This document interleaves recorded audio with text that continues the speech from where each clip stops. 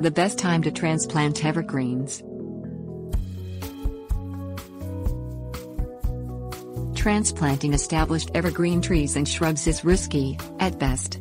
Typically, plants removed from landscapes or native areas retain only 25% of their root structure. The shock of transplant is often too much for plants to recover from, according to North Dakota State University Extension. Considerations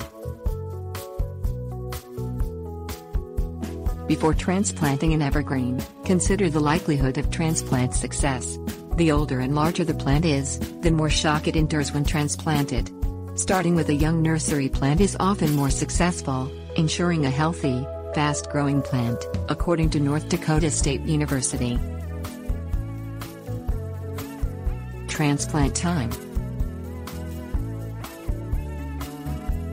The best time to transplant evergreens is in the spring, after the ground has thawed but before new growth appears.